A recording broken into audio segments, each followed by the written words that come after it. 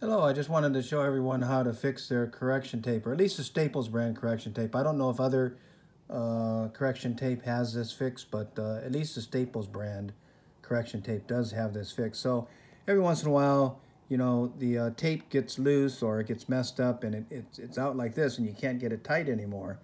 So what they have, at least on the Staples, is uh, there's a button here that you can push. So you know, if you, I guess if you wanted to put this in your shirt pocket, you know, it's got a little clip and uh, you can, you know, extend it or if you didn't want it, you could, you know, retract it into the housing.